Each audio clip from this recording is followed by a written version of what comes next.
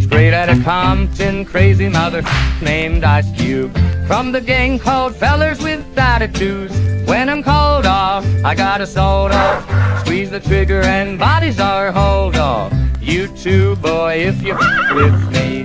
The police are gonna have to come and get me off your ass. That's how I'm going out for the punk mother.